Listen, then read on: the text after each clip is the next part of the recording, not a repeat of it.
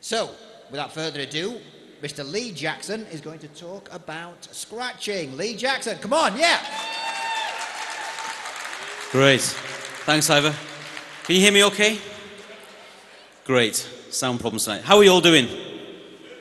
Very good, very good. Now, are we ready? Go for it, go for it. Great. I spent most of my life uh, scratching. Save the jokes, I've heard them all, believe me. Right? But I spent most of my life DJing in schools and uh, in competitions. I was a runner up in the Northeastern Heats of the DJ Mix competition. So I was one of the best DJs in the country. In the 1980s, I was a fashion icon, as you can tell. That was my, that was my bedroom, that was my first set of turntables, which was basically my dad's hi fi that I robbed off him and broke. Uh, that was basically how I started DJing, using um, these big black CDs that some of you might have seen before.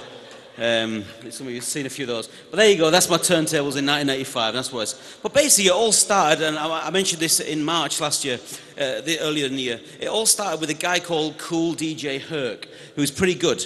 Um, that was how hip hop started. However, DJing was started really in 1947 in Otley at a jazz event by Jimmy Savile, ladies and gentlemen.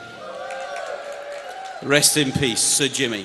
He did indeed, because DJs at the time had one turntable. They would put a record on, and they would put a record on, and when the record finished, they would talk about it and put the record on. And he was the first guy who said, basically, can I have two turntables, please? And the PA engineer said, why would you want two turntables? So Jimmy Savile, God bless him, is actually a DJ legend in many ways. So here we go, DJ Kool Herc. He took the old funk records and basically let them play like this.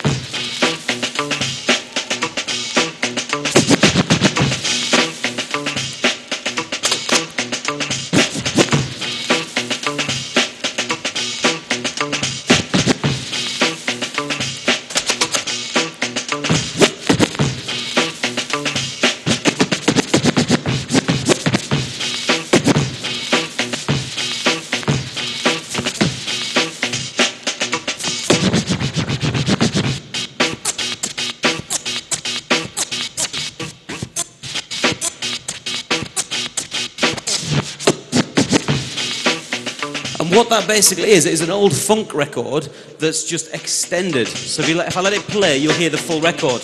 You got it. You got it. You got it. You got it. I know you got soul. which is like a James Brown and Bobby Byrd song, okay? So that's basically what it is. And break dancing is just extending the break, instrumental break in the record. That's why it's called break dancing. And that's exactly what I showed you just now. But scratching is something different, and that was invented by Grand Wizard Theodore. And basically, he invented it while his mum shouted him because his tea was ready. And so he held the record like this. Sorry for the noise. He held the record and he invented it by accident. So, who'd like to have a go right now? We're going to have live scratching with volunteers. Who'd like to have a go? Yes, Richards, first up. Can we, can we have a woman as well, please? Because that would, that would only be good. Yes, thank you very much, madam. What's your name? Quick, quick. There we go. Over this side, over this side, over this side. Basically, what you got to do is just follow what I do. It's very simple. So just follow what I do like this.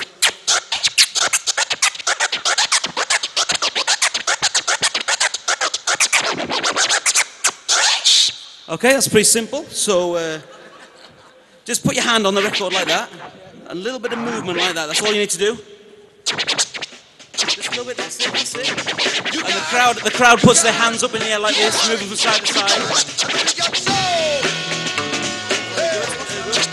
You should think you wouldn't be in here. I know you got Fantastic. Isn't that brilliant? Even ginger people can scratch, ladies and gentlemen. Isn't that brilliant? Now, yes, what's your name? Emma. Emma, come on, Emma. Are you left-handed or right-handed? I'm right-handed. You're right-handed. Come this side, Emma. This side, Emma. There you go. Just uh, put your hand in that little area there, and a little bit of movement like that. And the crowd puts their hands in like this.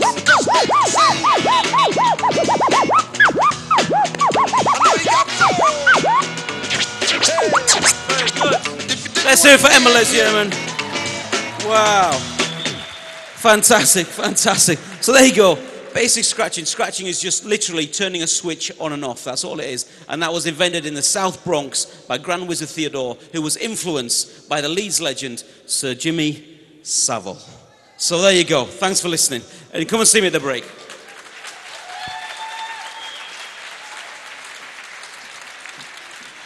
Mr. Lee Jackson.